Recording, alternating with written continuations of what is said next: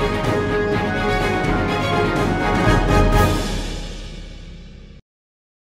अंतर्राष्ट्रीय श्रम संगठन आईएलओ इंटरनेशनल लेबर ऑर्गेनाइजेशन की ताज़ा रिपोर्ट के अनुसार, वैश्विक तापमान में वृद्धि के चलते जिस तरह गर्मी बढ़ रही है, उससे 2030 में 8 करोड़ नौकरियों के बराबर की उत्पादकता का नुकसान होगा। आईएलओ ने यह अनुमान उस आधार पर लगाया है, जिसमें कहा गया है कि इस सदी के अंत तक वैश्विक तापमान में एक दशमलव पाँच डिग्री की बढ़ोतरी हो जाएगी। रिपोर्ट में कहा गया है की तापमान में एक दशमलव पाँच डिग्री वृद्धि से 2030 में दुनिया भर के कुल श्रमिक घंटों में दो दशमलव दो फ़ीसदी का नुकसान होगा, जो 2400 बिलियन यूएस डॉलर के आर्थिक नुकसान के बराबर है। Working on warmer planet impact of heat stress on labour productivity and decent work शीर्षक से जारी। आईएलओ की इस नई रिपोर्ट में जलवायु से वैश्विक क्षेत्रीय, राष्ट्रीय स्तर पर होने वाले उत्पादकता और रोज़गार के वर्तमान एवं संभावित नुकसान का आकलन किया गया है।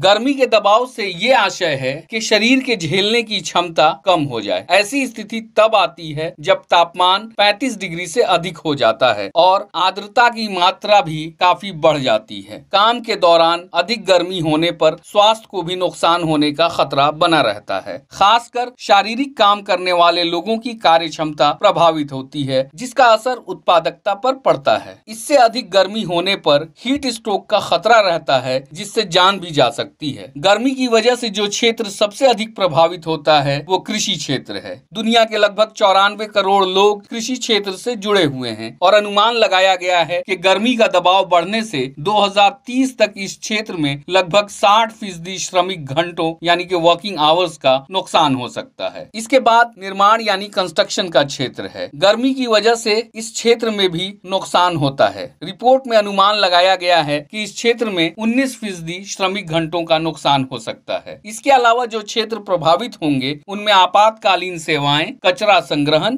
पर्यटन, मरम्मत कार्य, औद्योगिक मजदूरी, परिवहन, खेल इत्यादि क्षेत्र क्षेत्र शामिल हैं। गर्मी का असर सभी देशों में समान नहीं होगा।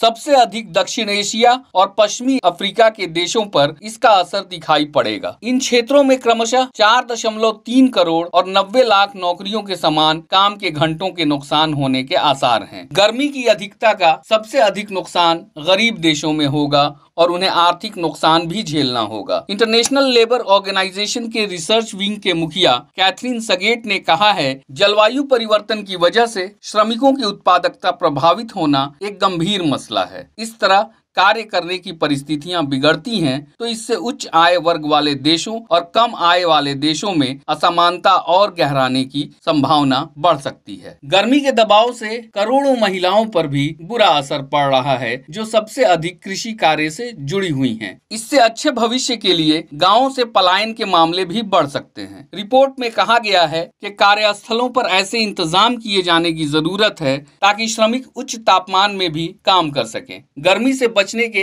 इंतज़ाम होने चाहिए और श्रमिकों को गर्मी से बचाव का प्रशिक्षण भी दिया जाना चाहिए। नियोक्ता और श्रमिकों के बीच बातचीत होने चाहिए, जिससे कामकाज के तरीकों में सुधार, काम के घंटों में बदलाव, नई तकनीक या उपकरणों का उपयोग, आराम का समय आदि के इंतज़ाम पर विचार विमर्श होना चाहिए।